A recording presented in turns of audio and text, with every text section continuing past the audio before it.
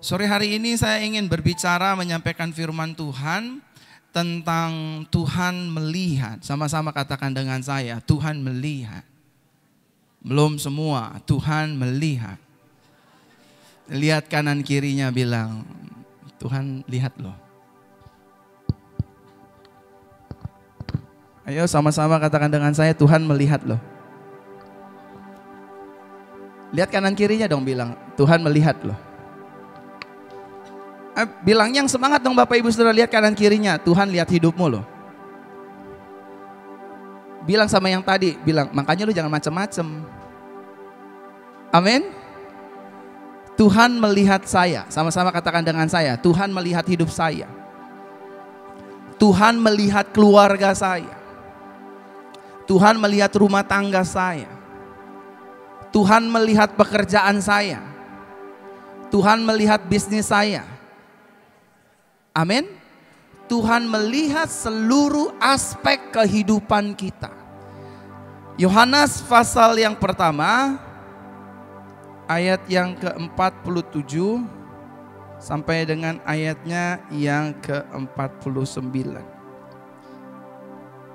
Yesus melihat Nathanael datang kepadanya dan dia berkata, Lihat inilah orang Israel sejati yang di dalamnya tidak ada tipu daya. Lalu Nathanael berkata kepada Yesus, "Bagaimanakah engkau mengenal aku?" Yesus berkata, "Sebelum Filipus memanggil engkau saat engkau sedang berada di bawah pohon ara, aku sudah melihat engkau." Sama-sama katakan dengan saya sekali lagi, Tuhan selalu melihat hidup saya. Amin. Amin Bapak Ibu. Nathanael berkata kepadanya, Rabi engkaulah putra Elohim, engkaulah Raja Israel. Bapak Ibu, Yesus yang kita sembah adalah Tuhan yang memperhatikan hidup anak-anaknya. Amin. Tuhan memperhatikan hidup Bapak Ibu Saudara apa pun yang Bapak Ibu Saudara dan saya lakukan, apa pun yang Bapak Ibu Saudara dan saya kerjakan, Tuhan melihat. Di nats lain oleh karena itu ditulis tidak ada satupun yang tersembunyi yang tidak akan dibuka oleh Tuhan. Kenapa? Karena mata Tuhan melihat hidup saudara dan saya. Daud berkata demikian kepada Tuhan nenek moyangnya Abraham, Ishak dan Yakub. Dia berkata kepada Yehova, dia berkata kepada Yahweh, ke manakah aku dapat pergi ya Tuhan menjauhi rohmu. Waktu aku naik ke gunung, engkau ada di sana. Waktu aku naik ke cakrawala, engkau pun ada di sana. Waktu aku turun ke dalam dunia orang mati, kau pun ada di sana. Maksud dari ayat ini adalah bahwa memang mata Tuhan tertuju kepada saudara dan saya. Saudara bisa bohongin istri saudara, saudara bisa bohongi suami saudara, saudara bisa bohongi orang tua saudara. Lagi di mana? Lagi bimbel. Padahal lagi ngempet berdua di bioskop. Orang tua bisa kita bohongi, pendeta bisa kita bohongi, gembala bisa kita bohongi, tapi mata Tuhan tidak bisa disembunyikan. Setuju Bapak Ibu? Setuju? Kan kalau ada orang telepon, e, Pastor Michelle lagi di mana? On the way. Padahal lagi gelepar-gelepar sambil lihat TikTok. Betul nggak Bapak Ibu? Tuhan kita itu Tuhan yang memperhatikan loh Bapak Ibu. Dia perhatiin tuh detail dari telapak kaki sampai ujung rambut Tuhan perhatikan. Amin. Apa saja yang saudara dan saya perlukan Tuhan perhatikan. Tadi pagi saya sampaikan firman Tuhan tentang Tuhan tidak meninggalkan. Salah satu reason kenapa Tuhan tidak meninggalkan kita, salah satu poinnya karena kita anak kesayangannya. Kenapa mata Tuhan terus memandang kita, memperhatikan kita? Because we are His beloved. Kita ini kesayangannya Tuhan. Apa pun keadaan saudara, mungkin saudara sedang jatuh dalam dosa, dalam pelanggaran, dalam kegagalan, dalam kesuksesan, dalam kemakmuran, dalam segala apa pun, mata Tuhan selalu tertuju atas hidupmu dan hidupku. Amin. Makanya Bapak Ibu Saudara, kalau ada persembahan, ada sumbangan dari jemaat yang nominalnya besar ataupun kecil kepada saya selaku gembala gereja di tempat ini, saya tidak pernah cheating Bapak Ibu. Saya tidak pernah curang. Selalu saya tanya sama jemaat, berapa ini nominalnya? Sekian puluh juta. Berapa ini nominalnya? Sekian ratus juta. Saya foto, saya kirim ke grup pendeta, saya masuk ke bank, persis nominal yang sama, tidak kurang satu sen pun. Kenapa itu saya lakukan? Karena saya bisa bohongi Pastor William, saya bisa bohongi istri saya sebagai ibu gembala, saya bisa bohongi semua duta Kristus. Tapi mata Tuhan 24 hours selalu melihat hidupmu dan hidupku. Amin. Saudara dan saya mau main di tempat gelap sekalipun Tuhan bilang I am the light of the world. Ngakulah terang dunia. Tidak ada terlalu tempat yang gelap tidak bisa diterangi oleh terang Tuhan. Termasuk juga kalau ada orang-orang yang ingin menjahati hidup kita. Tuhan lihat loh. Tuhan lihat loh siapa yang ngeledekin kita, siapa yang ngerendahin kita, siapa yang ngomongin kita, siapa yang fitnah kita, siapa yang hina kita. Tuhan melihat. Kalau Tuhan melihat, Tuhan pasti membela lemah. Antara dua, belum makan atau kehujanan dari depan. Bengong semua wajahnya nih. Apa terkesima yang lihat saya udah langsingan ya? Saudara, ke mana pun kaki kita melangkah dan apa pun yang kita perbuat, Mata Tuhan selalu tertuju atas hidup kita. Foto nih Bapak Ibu. Foto baik-baik. Supaya ketika ah bini lagi pergi nih ke Sydney nih. Boleh nih download Tinder. Kalau orang tua nggak tahu, kalau jomblo-jomblo tahu. Aplikasi jodoh. Ada yang senyum-senyum. Untung Pak Gem nggak pakai Tinder. Foto nih Bapak Ibu. Ke mana pun kakimu melangkah. Ke mana pun tubuhmu pergi. Mata Tuhan selalu melihat kita. Amin. Amin saudara. Nah Bapak Ibu. Pertanyaannya Bapak Ibu saudara apa yang Tuhan lihat dan perhatikan dari hidup kita anak-anak. Yang pertama yang Tuhan lihat dari hidup kita itu doa dan air mata kita. Sama-sama katakan dengan saya, Tuhan melihat doa dan air mata saya. Amin. Waktu saudara berdoa di atas motor, waktu bilang sama Tuhan, aku sering kali kehujanan, panas kepanasan, aku pengen punya mobil Tuhan. Tuhan lihat loh. Waktu air mata turun, tes. Tuhan, saya nggak punya uang buat sekolahin anak saya tinggi-tinggi jadi dokter, jadi pengacara. Tapi saya percaya Tuhan akan mengabulkan. Tuhan lihat loh air mata itu. Berapa kali tertetes, berapa kali tercurah, Tuhan lihat. Amin. Amin saudara. Waktu saudara lagi nggak punya uang berdoa sama Tuhan, Tuhan. Saya nggak punya uang untuk bayar listrik, bayar cicilan, bayar-bayar yang lain. Tuhan lihat. Tuhan lihat doa dan air mata kita. Amin.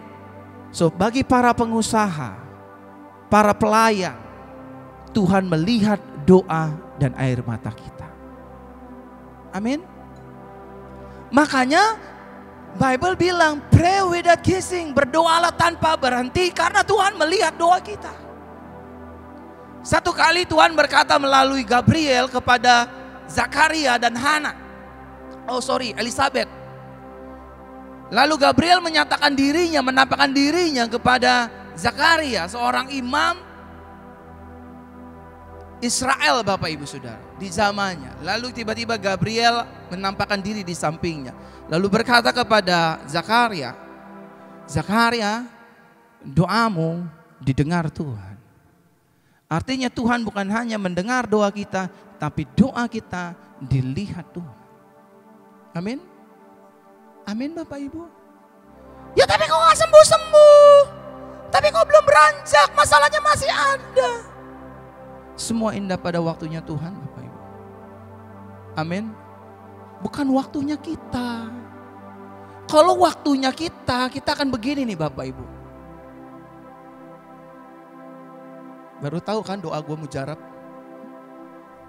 Sekali doa Tuhan dengar, jadi itu barang. Kalau kita tetap berdoa tutup mata, lipat tangan, meneteskan air mata berkali-kali Tuhan tolong, Tuhan tolong. Saya percaya dia bukan hanya mendengar, dia juga melihat. Saya percaya bukan hanya dia melihat, tapi dia akan bertindak menolong saudara dan saya. Yang setuju kasih tepuk tangan bagi Tuhan. Jangan berhenti doakan rumah tangga kita Bapak Ibu. Jangan berhenti doakan ekonomi kita. Jangan berhenti doakan anak-anak kita. Jangan berhenti doakan bisnis kita. Jangan pernah berhenti doakan pekerjaan kita masing-masing. Jangan pernah berhenti Bapak Ibu Saudara. Karena Tuhan melihat setiap air mata kita. Setiap doa kita. Jangan pernah berhenti. Waktu ketika saudara direndahkan orang, diomongin orang, difitnah orang, sampai saudara nggak berani balas, tapi makan dalam, akhirnya nangis. Tuhan lihat air mata itu. Tuhan yang akan berperang ganti kita, melawan musuh-musuh kita. Amin. Saya pernah ngalamin ini Bapak Ibu. Saya ngalamin. Tuhan sendiri yang berkata sama saya, kamu turun tangan, aku akan angkat tangan. Waktu kamu angkat tangan, aku yang akan turun tangan. Mana yang kamu mau pilih? Sudah, I surrender all. Nggak ada cara lain. Aku berserah pada Yesus Juru Selamat. Aku Walaupun harus sakit hati ini Bapak Ibu Saudara. Menerima setiap fitnahan, makian, direndahin, tidak dianggap, diomongin, dilecehkan. Tuhan akan gantikan peperangan kita. Amin. Memang orang percaya itu tugasnya cuma tutup mata, lipat tangan, berdoa Bapak Ibu. Nggak usah klarifikasi, nggak usah lawan, nggak usah balas. Saya ngalamin hal ini berkali-kali Bapak Ibu. Tapi finally resultnya Tuhan lagi, Tuhan lagi yang bela. Tuhan lagi, Tuhan lagi yang bela. Tuhan lagi, Tuhan lagi yang angkat. Tuhan lagi, Tuhan lagi yang permuliakan. Ketika orang rendahkan kita, Tuhan yang angkat kita. Ketika orang ingin mempermalukan kita, Tuhan yang mempermuliakan kita. Ketika orang ingin menjahati kita, dia maju 2000 langkah di depan kita. Menjadi our shield to become our shield. Amin. Menjadi perisai saudara dan saya So that's why Tuhan berkata kepada Abraham, Abraham janganlah takut, akulah perisaimu yang akan menuntunmu, melindungimu dan memberkati hidupmu. Amin. Tadi pagi saya singgung kepada jemaat di pagi, jangan suka lihat rumput tetangga. Jangan suka lihat usaha orang. Oh, di sana bridalnya maju, kok usaha saya begini malah sarang gonggo semua. Oh di sana warungnya laku kok saya nggak ada yang beli. Boro-boro satu orang yang datang cuman lalat lewat ngeng ngeng ngeng ngeng. Waktu saudara bekerja, waktu saudara mempersiapkan makanan, waktu saudara mempersiapkan gereja seperti ini, Tuhan lihat loh. Tuhan lihat dari surga. Nggak ada istilah kacamata kuda di mata Tuhan. Dia melihat karena kita anak kesayangannya. Waktu saudara punya hutang berdoa tutup mata lipat tangan meneteskan air mata Tuhan melihat. Amin. Dan Tuhan sendiri yang akan berkata, aku akan memberkati hidupmu. Selama engkau percaya, tidak bimbang, tidak takut, tidak ragu, tidak cemas, aku yang akan bayar hutangmu. Tepuk tangan bagi Yesus. Jadi siapa pun saudara kita, anak Tuhan termasuk saya pendeta gembala jemaat, bisa nangis gak? Nangis saudara. Saya kalau hari-hari tengah minggu habis antar istri, habis antar anak, Ke kantor pulang lagi, habis saya baca Bible, saya di kamar sendirian. Tadi ditanya sama uh, Ko Hendra, Ko, Koko kalau di rumah ngapain sih kok? Nggak ada lain, nggak ada bukan saya masuk kamar, lampu saya matiin, saya setel musik penyembahan kayak seperti ini, minta minta volumenya dikencengin dikit. Dikasih chord begini, saya cuma nangis Bapak Ibu. Saya bilang Tuhan terima kasih. Aku percaya. Thank you Jesus. Toto setengah tiga. Dari jam satu misalkan siang, Toto setengah tiga, Toto jam dua, Toto jam tiga. Wah saya harus jemput istri saya. Itu ruangnya cuma ruang kubus kotak Bapak Ibu. Nggak ada orang lain selain boneka-boneka anak saya. Semuanya lah, pororo semua kumpul di situ semua. Boneka-boneka. Tapi saya percaya di tengah keheningan, di tengah ruang hampa, matanya yang dari sorga melihat doa saya, melihat doa saudara.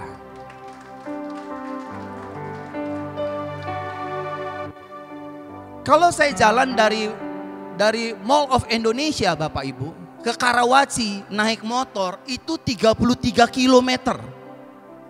Saya pernah hitung, kalau saya tidak salah, dari Mall of Indonesia sampai Karawaci saya ngekos di Karawaci Bapak Ibu, dulu masih jomblo. Saya harus naik motor, dulu inget banget dilantik sebagai pendeta pembantu di salah satu sinode lama saya, PDP dulu namanya. Hujan kehujanan, panas kepanasan, saya bilang Tuhan, kalau kayak begini saya nggak efisien pelayanan, badan bukannya saya nggak mau melayani pakai motor Bapak Ibu, bukannya saya tidak mau, jangan salah artikan saya. Bahkan kan Tuhan sendiri tahu tengah pagi buta setengah empat saya udah doa pagi ya. Itu saking ngantuknya saya naik motor saya jabanin Tuhan. Di situ tuh udah jalan mentok. Padahal saya harus ke kanan tapi saya jalannya mentok sampai ketabrak pagi-pagi buta Bapak Ibu. Brak. Saya bilang Tuhan, aku percaya Tuhan pasti dengar. Itu doa saya di atas motor Bapak Ibu. Terus, terus, terus. Sampai saya pernah cerita di tempat ini Waktu saya bonceng pacar saya dulu yang sekarang jadi istri saya. Naik motor bareng-bareng. Dia udah dandan cantik-cantik. Cantik sekali dandan.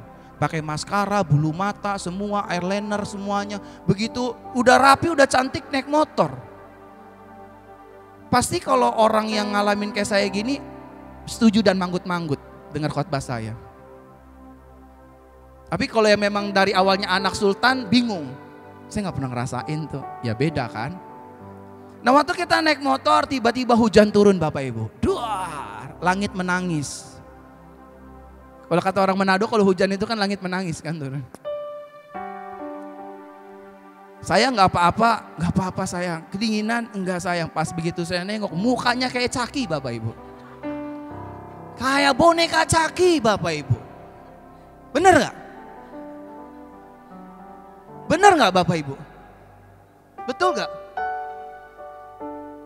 Kamu gak kedinginan? Enggak sayang. Kamu gak kebasahan? Udah gak apa-apa jalan terus. Aku gak enak sama kamu. Udah, udah hujan setengah jam enak gimana gitu kan. Nyala. Roda depan ke kanan, roda belakang ke kiri Bapak Ibu. Oleng dia. Kalau dimakin digeber, saya takut rodanya copot Bapak Ibu. Tapi pada saat itu cuman ada itu Bapak Ibu. Waktu saya nengok Bapak Ibu Saudara, waduh kenapa jadi kayak boneka Anabel mukanya. Sebagai pria yang punya tanggung jawab Bapak Ibu Saudara yang akan menikahi pacar saya ini. Saya kan gak mungkin ketawa, muka lu kayak ondel-ondel kemayoran. Kan gak mungkin. Dalam hati saya saya doa sama Tuhan, Tuhan. Kasihan Tuhan. Jangan bawa-bawa dia Tuhan angkat derajatku sedikit aja. Benar Bapak Ibu, Tuhan melihat. Tuhan melihat saya, melihat doa saya, melihat air mata saya, melihat juga boneka Anabel di belakang saya. Indah pada waktunya Tuhan, roda dua menjadi roda empat Bapak Ibu. Tapi bukan mobil tinja ya, Mobil yang selayaknya kami pakai Bapak Ibu. Betul Bapak Ibu. Jadi kalau saudara hari-hari ini yang di atas motor berdoa, yang di kontrakan sedang berdoa, di kos-kosan berdoa, di rumah sakit berdoa, di barak lagi berdoa, di tempat tugas lagi berdoa. Ingat pokoknya Tuhan melihat doamu, Tuhan melihat air matamu yang tercurah. Tepuk tangan buat Tuhan.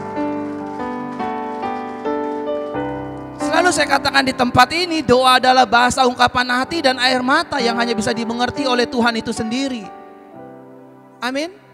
Nggak usah ladenin bu, kalau suami kita bilang lu kenapa sih cengeng banget jadi jadi wanita doa nangis mulu, nangis mulu, nangis mulu. Bilang sama dia, lu belum pernah jadi Anabel ya. Di gereja gue tuh ada Anabel. Saudara yang kedua, apa yang Tuhan lihat dan perhatikan dari hidup kita. Yang kedua yang Tuhan lihat adalah kesetiaan dan pengorbanan kita. Sama-sama katakan dengan saya, Tuhan melihat kesetiaan dan pengorbanan saya. Bu, pengorbanan ibu sama suami bu, sama anak-anak, walaupun gak dianggap, walaupun tidak dihargai, Tuhan melihat dan menghargai. Kok aminnya takut begitu? Ya habis tiap malam saya ditindas pak. Walaupun kita sering mengorbankan hidup kita buat anak-anak kita, berkorban pala jadi kaki, kaki jadi pala. Tuhan melihat loh. Ibu Nanita berkorban membesarkan tiga anak. Tuhan lihat. Tuhan lihat. Ini saudara gini, gini, gini, gini. gini. Waktu saudara melayani suami, waktu saudara melayani istri, waktu saudara melayani orang tua, waktu saudara melayani anak, saudara tanpa saudara sadari, saudara sedang memiutangi Tuhan. Saudara sedang menabung di tangan Tuhan yang nanti someday Tuhan akan cairkan tabungan itu. Pasti Tuhan akan cairkan. Tapi kita nggak pernah tahu, kok tiba-tiba saya naik pangkat, kok tiba-tiba saya diberkati, kok tiba-tiba saya punya ini dan itu. Kita nggak tahu. Padahal beberapa tahun yang lalu, beberapa waktu yang lalu, itulah benih yang kita tabung Bapak Ibu Saudara. Kesetiaan dan pengorbanan kita.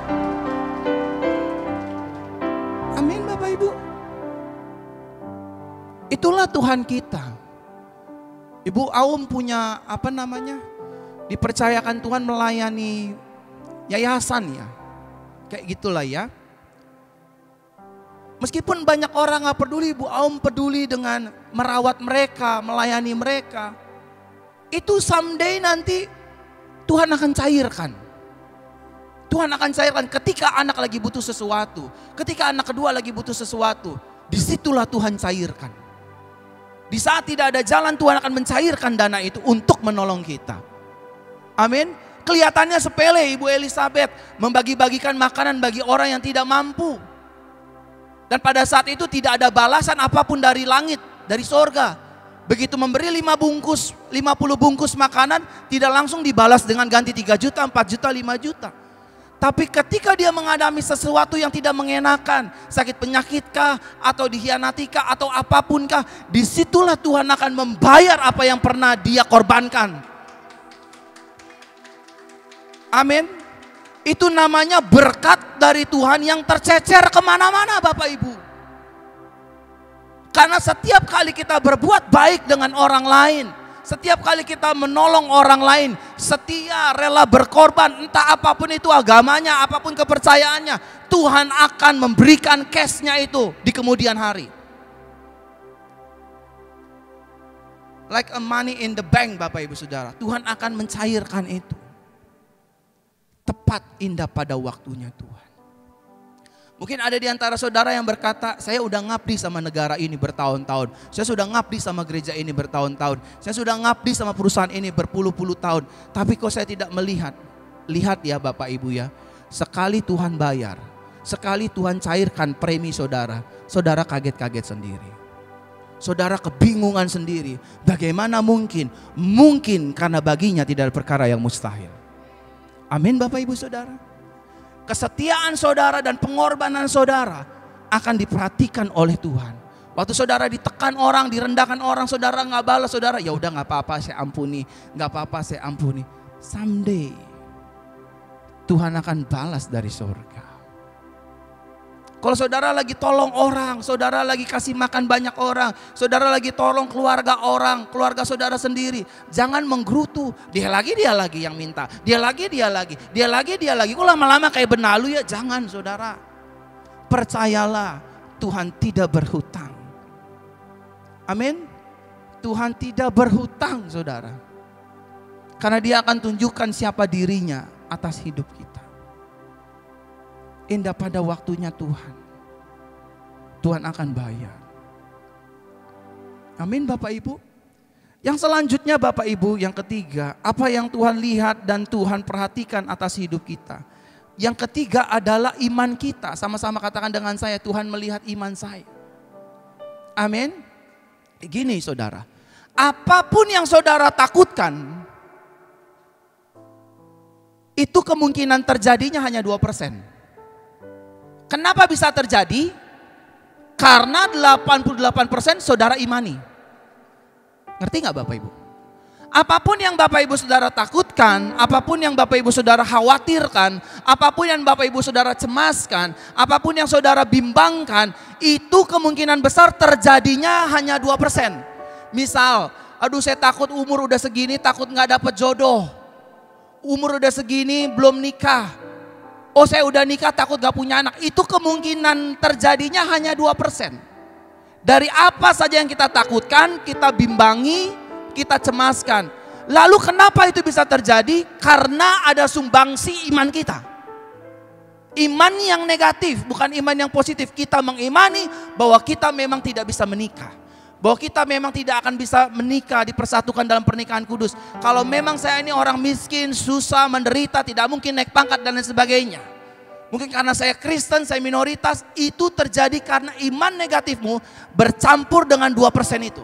Jadi 88% bercampur dengan 2%, jadilah 100%. Apa yang kau imani itu yang jadi padamu. Tahukah saudara bahwa di Bible dikatakan waktu Yesus nanti datang untuk kali yang kedua, dia mencari berkata, adakah kujumpai iman di muka bumi ini? Amin. Dia nggak cari orang kudus karena orang kudus tidak bisa menguduskan dirinya sendiri. Dia tidak mencari orang benar karena manusia tidak bisa membenarkan dirinya sendiri. Karena manusia untuk kebenaran dan kesucian serta kekudusan, dia butuh pertolongan Tuhan. Tapi bicara iman, ada hak prerogatif Tuhan, ada hak prerogatif jemaat. Betul gak? Yang kita kenal namanya free will. Kehendak bebas. Nah kalau saudara berkata sama Tuhan, Tuhan aku percaya bridal aku pasti akan maju. Pelayananku pasti akan maju. Aku pasti akan beli tanah. Aku pasti akan bangun gereja. Tuhan lihat iman kita. Yang diperhitungkan Tuhan kepada Abraham bukan karena kesucian dan kesalehan Abraham. Abraham itu orang dari negeri kafir Bapak Ibu. Orang bukan penyembah Tuhan. Biasa apa ya? Adat pagan gitu loh, pagan apa namanya? Penyembah berhala, penyembah patung-patung. Abraham tuh. Tapi Tuhan jumpai dia memperkenalkan diri, akulah Tuhan. Tuhan siapa? Karena pada zaman itu banyak Tuhan. Tetapi Bapak Ibu Saudara, yang diperhitungkan Tuhan kepada Abraham bukan kebenarannya, bukan kesalehannya, tetapi his faith, imannya. Amin. Meskipun saudara nggak punya modal, kalau saudara melangkah dengan iman, saudara bisa. Saudara bisa. Sama-sama katakan dengan saya bisa. Amin. Waktu kita bangun gereja ini juga by faith. Tuhan kami mau punya ruang ibadah sendiri. Kita nggak mau diusir tiap minggu. Kan cuma 4 jam ya Pastor William ya. Ibadah 4 jam, habis 4 jam digebah sama yang punya. Ayo, ayo, ayo, ayo. Ini mau dipakai. Mau sampai kapan begitu? Saya kumpulin teman-teman semua. Ayo kita cari tempat. Duitnya dari mana? Udah cari dulu, duitnya belakangan. Betul? Dapat ini, cuma sepetak begini. Ya udah kita bersyukur. Kita percaya Tuhan pasti melunasi semuanya. Tuhan pasti memberkati. Jadi kita kumpul semua sampai hari ini Bapak Ibu. Tepuk tangan dong buat Tuhan Yesus. Kalau saudara tanya sama saya, bagaimana kita bisa bayar tanah yang 100 miliar lebih? Yang selalu kita doakan, nggak punya uang. Gereja dijalanin juga nggak dipaksain persembahan. Saya benar nggak Bapak Ibu? Saya nggak pernah singgung, Pak Yakobus sudah kembalikan perpuluhan milik Tuhan. Belum. Terlalu. Enggak, saya nggak gitu Bapak Ibu. Saudara mau beri, berilah. Saudara mau kembalikan, kembalikanlah perpuluhan miliknya Tuhan. Mau berapa lama gereja ini jalanin kolekta untuk beri tanah ratusan miliar? Enggak ada Bapak Ibu Saudara.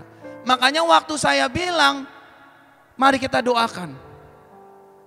Karena kekuatan kita tidak lain dan tidak bukan hanya Tuhan melalui iman kita. Amin. Orang bilang kita gila. Orang bilang kita setengah waras. Nggak mungkin. Nggak bisa. Nggak apa-apa. Jangan tersinggung, jangan marah. Tapi waktulah yang akan membuktikan. Siapa Tuhan kita. Dia Tuhan yang hidup. Jehovah Jireh. Tepuk tangan bagi Tuhan. Dan yang terakhir Bapak Ibu Saudara. Apa yang Tuhan lihat dan perhatikan dari hidup kita? Yang keempat, cara hidup kita setiap hari. Saudara dan saya tidak bisa sembunyi dari Tuhan. Amin. Tuhan tahu baik kelakuan negatif kita maupun kelakuan positif kita. Tuhan tahu kehidupan kita setiap hari. Amin Bapak Ibu. Amin. Tuhan marah nggak ketika saudara melakukan hal-hal buruk? Tuhan tidak marah. Tuhan hukum nggak ketika saudara sudah suami istri cheating dengan perempuan lain, dengan laki-laki lain? Tuhan nggak marah. Tuhan tidak hukum kita. Tetapi for your information, dalam hidup ini ada hukum tabur tuai. Dan iblis tidak akan tinggal diam. Because the devil never walk for free. Sebab iblis tidak pernah bekerja gratisan Bapak Ibu Saudara. Ketika saudara cheating laki-laki dengan wanita lain. Pertama tidak ketahuan, pertama tidak ketahuan, pertama tidak ketahuan. Sekali ketahuan iblis buat malu. Sampai seluruh moral kita terinjak-injak di seluruh muka apa namanya di depan umum. Oh si ini ya, si pendeta ini ya, si gembala ini ya, yang jatuh ya, yang berzina ya, yang ambil uang gereja ya. Betul Bapak Ibu? Siapakah yang menghukum? Tuhan atau kebodohannya sendiri? Sekali lagi di gereja ini kita diajarkan Tuhan tidak pernah menghukum umatnya.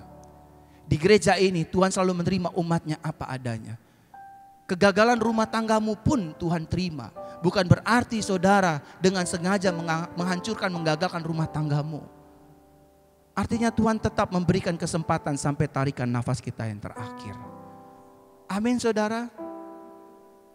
Saudara memacari suami orang, memacari istri orang.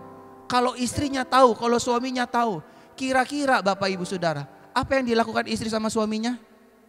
Oh puji Tuhan, haleluya, jalan aja terus. Aku restui, aku yang kedua.